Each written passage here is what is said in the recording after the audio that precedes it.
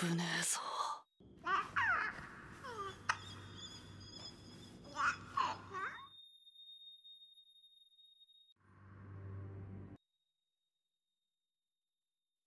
飛んでいけ。どっか遠くへな。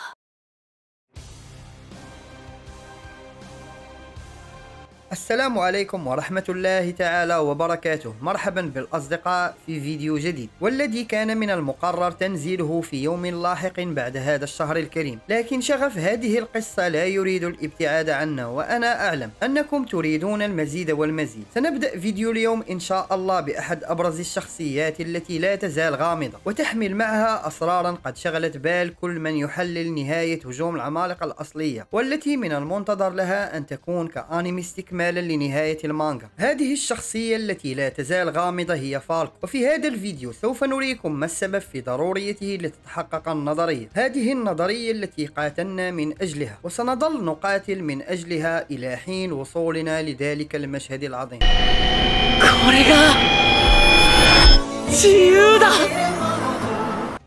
وسنخصص القسم الثاني من الفيديو لبعض الدلائل المتعلقة بنظرية تغيير النهاية. فلا تنسونا يا أصدقاء باللايك النشر والاشتراك فضلا وليس أمرا. أما إن كنت جديد فعليك متابعة الفيديوهات السابقة بالترتيب لكي تفهم معنا وتواكب كل ما سنتحدث عنه مستقبلا. ولنلقاكم بعد هذا الفاصل القصير.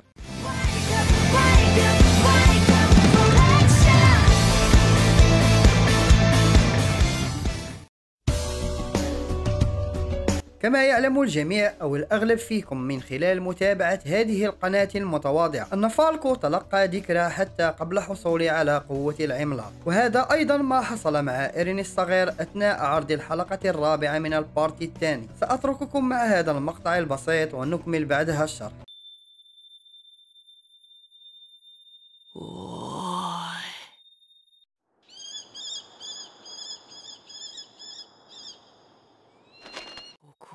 危ねえぞ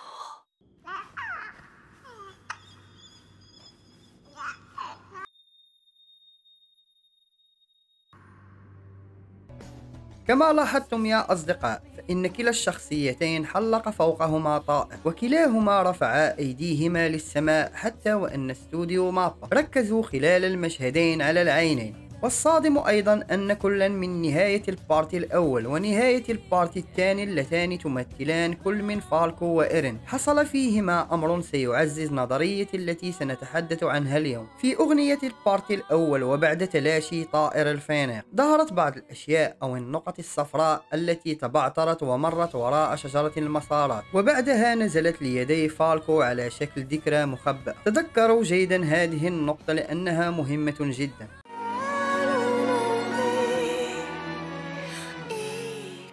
الغريب في الأمر أن نفس الشيء حصل في أغنية نهاية ال part الثاني. فكما ترون أنه طائر بنفس لون طائر الفينيق وفور تلاشيه سقطت نفس الأشياء على إيرين. وحينها رأى ذكريات جزيرة البارادايس المتخلى عنها والتي لم تدمر مثل المانجا.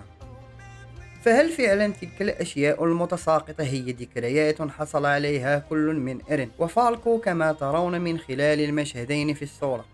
نحن نعلم بعد حلقة ال part الثالث أن الخطوط الزمنية تحدث في آن واحد. وشاهدنا في كل مسار زمني ظهور طائر يراقب ما حصل في هذا المسار. ومن الممكن أن من أرسلها هو إيرين المانجا المحبوس في المسارات أو ربما قد يكون إيرين الأنمي من المستقبل وهو يراقب ويتحكم في كل شخصياته من مختلف المسارات الزمنية. في نهاية المسار الزمني الأول ظهر طائر يرى ما حدث. وعلى الأغلب سيكون صقرا أو عقاب. بينما في نهاية المسار الزمني الثاني رأينا طائر النورس الأبيض الذي يرمز للسلام. ومن توقعاتي الماضية أننا سنرى غرابا أسود في نهاية الأنمي. الأنمي لحد آخر حلقة. يمشي على نفس خطى المانجا مع تغييرات بسيطة. لكن متى سيغير إيرين في الأنمي المسار ويتخذ المسار الذي سيؤدي لحريته؟ أغنية نهاية ال part الأول صدمة. أعطتنا الإجابة على هذا السؤال من مدة وهي اسم على مسمى.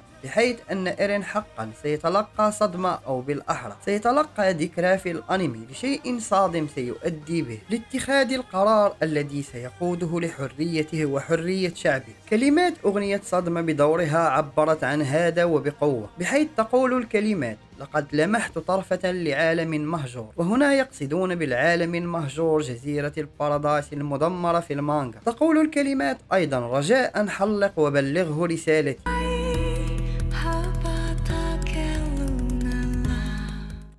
هذه الكلمات لم أجد لها تفسيرا غير ضرورية إيصال رسالة إيرين المانجا لإيرين الأنمي لكي لا يتخذ نفس مسار الندم الذي اتبعه إيرين المانجا ولكي يتحقق هذا يجب على أحد ما إيصال تلك الرسالة. هذه الرسالة أو الذكرى هي المخبأة لدى فالكو وهو الوحيد القادر على إيصالها لإيرين الأنمي ففي الحلقة الرابعة من ال part الأول قدم إيرين رسالة لفالكو ليقوم بإرسالها لفيلق الاستطلاع وقد قد يكون هذا أيضا تلميحا لإيصال رسالة إيرين المانجا لنفسه من الأنمي وهذا لن يكون إلا عن طريق فالكو.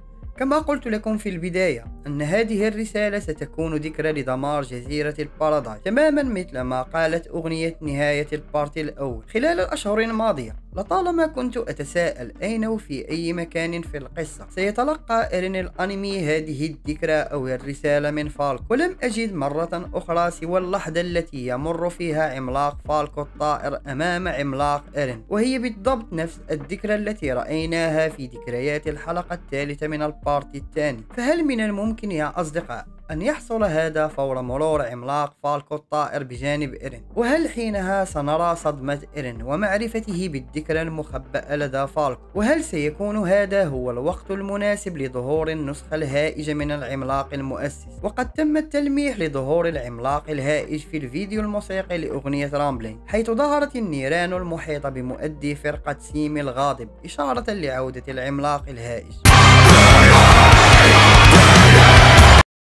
النيران التي تلتهم كل شيء سبق أيضا التلميح لها في الموسم الأول حينما أحرق إيرين كلا من غريشا وكارلا والدته وميكاسا. فنحن نعلم يا أصدقاء بأن إيرين كان السبب في موت والده ووالدته ولم يتبقى غير ميكاسا التي لن تسلم من هذا. وهذا ما شرحناه في العديد والعديد من الفيديوهات. موت ميكاسا مرة أخرى تم التلميح له في حدث أنمي جابان الأخير حيث قاموا بوضع فيديو يلخص عشر سنوات التي مررنا بها مع هجوم العمالقة. وما فاجأني أنهم استعملوا الكلمات من أغنية حواجز أنت تعلم أنه يجب عليك قتلها. هذه الكلمات كانت تزامنا مع ظهور ميكاسا. فهل هي صدفة أخرى أو خيار فني كما يظن البعض؟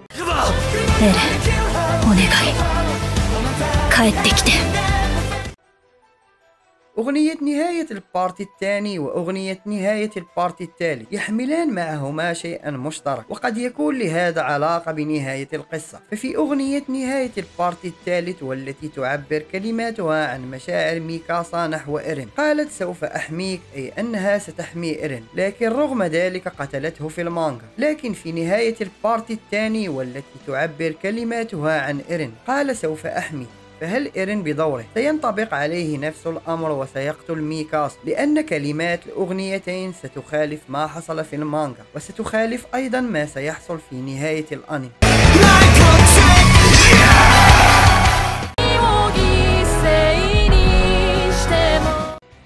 في هذا الفيديو يا أصدقاء تحدثنا عن ال poster الترويجي لل cour الأول من ال part الثالث وقلنا أن هذا ال poster كان عكس غلاف مجلد الثالث والثلاثون حيث ظهرت الشخصيات مقلوبة. المجلد الثالث والثلاثون تضمن أربع فصول وهي التي تم اقتباسها في الحلقة الطويلة. مما يعني أن ال cour الثاني سيقتبس المجلد الرابع والثلاثون والأخير من المانجا. غلاف ال cour الثاني من الممكن أن يكون معكوسا أيضا لأننا لو رأينا غلاف المجلد الأخير سنرى نرى أنه يتضمن ثلاثي القصة آرمين ميكاسا وإيرين. فهل سيكون في ال poster الترويجي الأخير؟ إيرين لوحده بجانب الشجر. تماما مثل مشهد opening ال part الثاني حينما كانت تجري الشخصيات ولم يتبقى سوى إيرين.